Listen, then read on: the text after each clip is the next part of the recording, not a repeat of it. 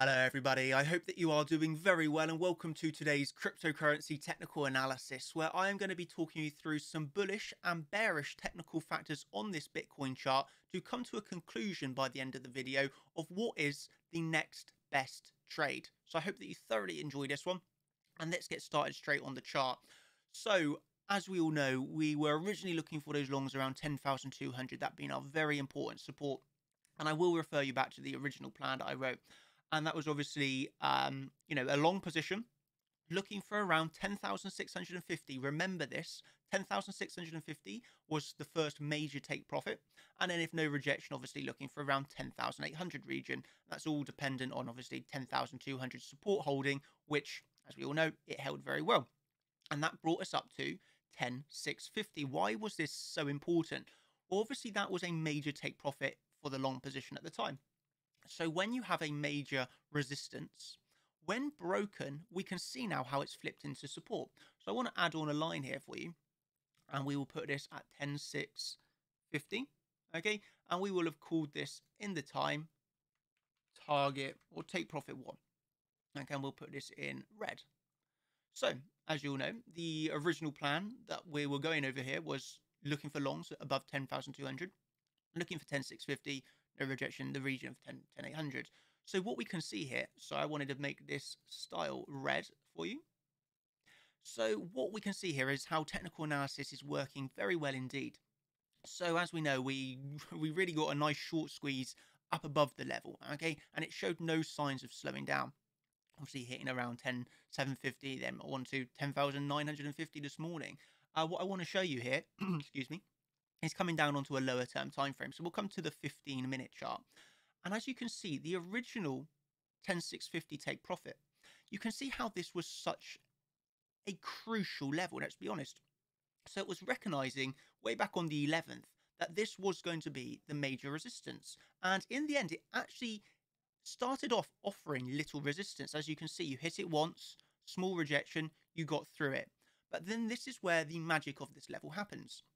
So obviously, when, you know, back on the 11th, when we were, when we were, where were we on the 11th? We were sat around, uh, li- literally down, down at the lows. So it's from that level, recognizing that this was going to be a, a, you know a crucial level. As we can see, we got the rise to the top of the range, back down to the low of the range. In the end, getting up to 10650, and this is where this level become resistance, but then flipped. And this is highlighting to you really the strength, okay? The strength to get through such a level and then flip it into support. So this is a classic test technical analysis idea where you have resistance and then once broken, it turns into support. And you can see that really perfectly here. When you take this region of the first resistance that was formed, okay, down to that low, obviously of the first low, then you can see that this resistance region has become support, support, support, and support once again.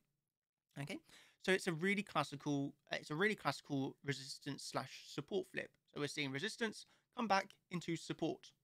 And what we're seeing on the flip side, okay, if we come back up to the four hour chart, let's come down to the one hour actually, it's a little bit easier. So on the one hour chart, we can see we are still making higher highs and higher lows. So the bullish factors here that I'm listing is that we are above 10650. We have flipped the major resistance, which for me was honestly a, a big level where I was taking major profits on my longs uh, because you know it was a big resistance. But now we have flipped that into support. That's obviously a bullish factor number one. The market structure with higher highs and higher lows is bullish factor number two. Um, then what we can see here is I will highlight to you why we are rejecting off of this region, and it's actually really nice. So as you can see, this order block that we had here, the highs of this block are now really coming back into resistance. That's obviously around 10,920. So can you see what's starting to happen here? We've got major resistance coming in off of the order block. And we've got major support coming off of an old resistance now flipped to support. And you can see the range that's going on here, can't you? Okay, you can envision this is the range. Obviously, we cannot say with 100% certainty whether this range is now going to be breaking to the upside or whether we will come down to the lows and break to the downside. But what are you better off doing? You are better off trading the range until it breaks. If you get a break to the downside, you can continue with the shorts. If you get breaks to the upside, you can look for the low long positions if you're not already in one, you know? Um, what's the worst thing to do in these examples? Well, it is, it is really trying to get into long positions at the highs and it is getting into short positions at the lows. That, that's really the worst thing that you can be doing. Uh, but that is what's happened time and time again. You are seeing a really, really aggressive shorts at the lows and really aggressive longs at the highs. So the market naturally likes to cause pain, and uh, people that try and short the lows stopped out. People that try and long the highs stopped out, or at least add confusion. And I must admit, even for myself, this this although it looks really simple that I've just taught you through here, this for me has been very, very choppy. I have actually not enjoyed trading this range because for me, anyways, it has been very, very, very choppy. I'm currently sat in no position, so I am in no trade at the moment. Okay, I just want to make you aware of that. I'm in no trade because I always think you got to such an important factor of trading is patience. And this morning I woke up and I just said, you know, I'm going to remain patient on this. Okay, I have the, you know, I've, I've seen on the chart that we're holding crucial support. We're making higher highs and higher lows. Yes, obviously we have now swing failure pattern that high onto 10940, which was a level I was waiting for. But unfortunately I was asleep during it and I didn't want to wake up for my alert. So I missed a short entry. And then the obviously the next factor that you have, I don't want to I don't want to chase the trade and I don't want to be aggressive on the trade also because of the conflicting factors that we have for a bullish case, okay? For instance, you're seeing the stock market very healthy, you're seeing gold very healthy. You know, it, it adds, you know, you're just looking for confluences. You, that's that's really what you're looking for. So my confluence here is um, that we've, we've got the market structure on our side. We've got uh, really aggressive, you know, we have, overall the funding rate is still very bullish.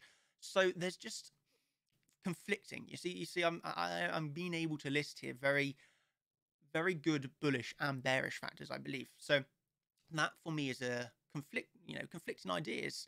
And what I don't want to do is gamble. I, I, I do uh, refuse to enter a trade when I am 50 50. And there are times when I am, you know, pretty 50 50. I'm there. And what I prefer to do actually is, is sit, sit out. Okay. I am under no, I'm not forced to trade Bitcoin, as you should not be forced to trade Bitcoin. You never have to take a trade. And actually, no trade is a trade in itself. So, what I truly believe many people fail with in trading is over trading. And I, I was a victim of this yesterday, to, to be honest with you. But honestly, uh, over trading is is very very dangerous because, for example, uh, I and many others, I'm sure, made very very great profits on that move to the upside. But then what you can fall victim of is over trading this choppy region and actually seeing very good profits. Them all they all they all fall down the drain, and you throw the profits away. It's not a situation you ever want to be in as a, as a you know if this is your uh, you know, you have to treat trading as a business. I've, I would always say this: trading is a is a business, and if you are very poor with your money management, risk management, and you are not taking only the best trades, uh, it's like in a business you would only take the very best deals. You wouldn't, you know, you, why would you go for a substandard deal? Trading is a business; you have to treat it as such. So I will only take the best trades. And what I mean by this is searching for high probabilities, okay, which we just don't really have at the moment because, as, as I've said, for me, there's it's really a 50 50 chart. And uh, yeah, you're going to see, you're going to, you're going to see very strong, you know, you're going to see people very bullish here. You're also going to see people very bearish here. But I truly believe for the next step of this market, you, you, one, myself anyway, I'll be waiting for the market to show its hand a little bit more. I must say, I have somewhat of a more bullish feeling where I would, or I would prefer to see us push up here. Actually, I, I, I don't know. I, I would prefer to see us go to around eleven thousand dollars higher.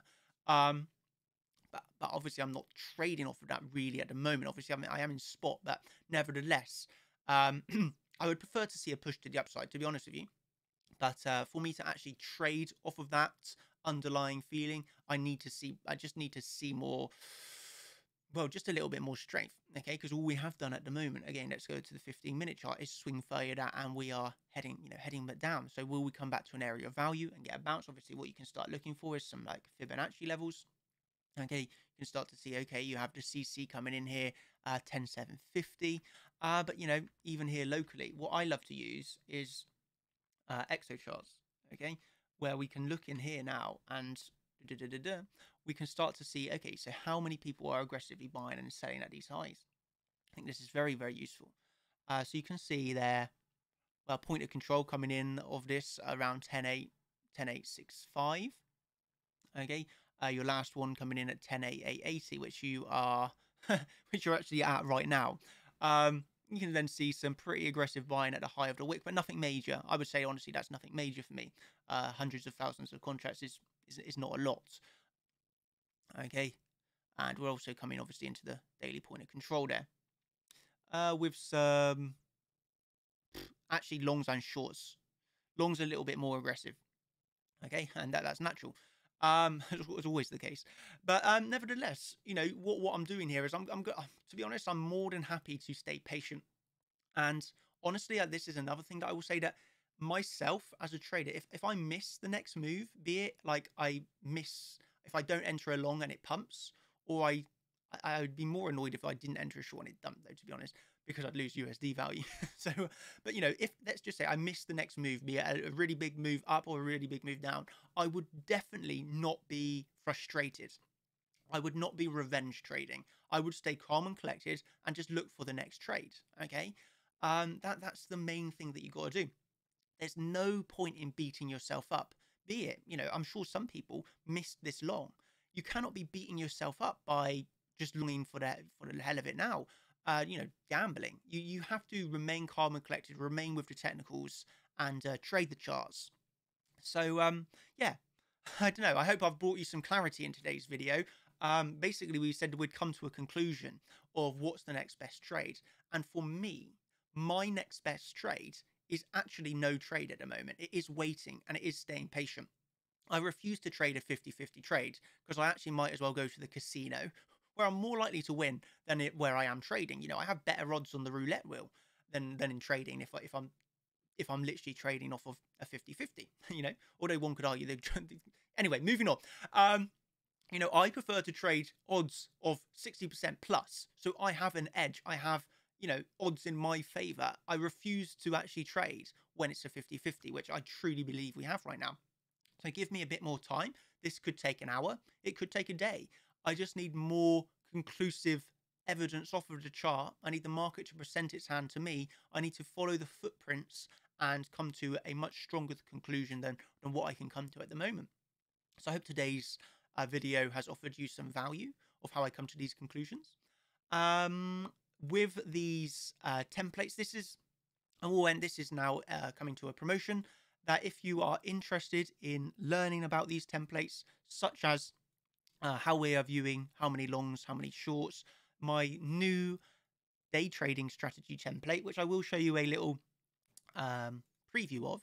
Uh, so this is this is a live stream that I will be hosting tomorrow. Okay, so this is a live stream for all of the contenders and all of the champions. It is a very professional live stream where I will be going through for about an hour uh, my day trading strategy. Okay, and this is obviously starting with a chart of the week where I'm going to start with totally deleting a chart. I will totally delete all my technical analysis and I will build up that chart from scratch, going through everything that I go through to come again to a conclusion based off a technical analysis, a trade setup.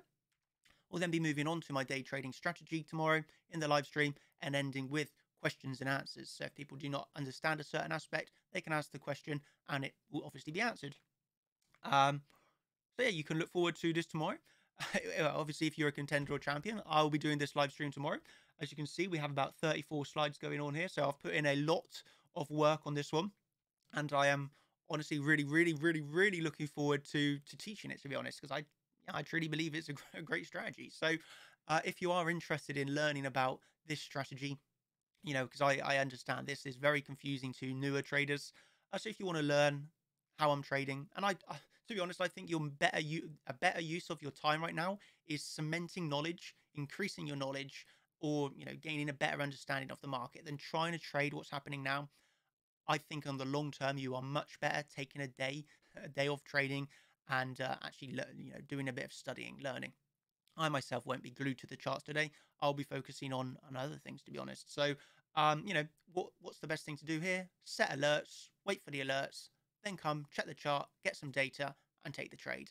So I hope that you've enjoyed this one. As always, everybody, I would thoroughly appreciate a like down below if you have enjoyed this video. It would mean a great deal of support to myself and you know it would bring a smile so if you have enjoyed the video i would very appreciate a like as always if you haven't enjoyed it just give a dislike down below and if you are so kind you can give some constructive constructive criticism as to why you have not enjoyed um yeah hope you have a brilliant day happy trading and again if you're interested in the live stream you can come over to the chart champions website and uh you know contender and champion level will be getting that day trading strategy and the order templates that go along with it. So cheers everybody. Thank you and goodbye. Cheers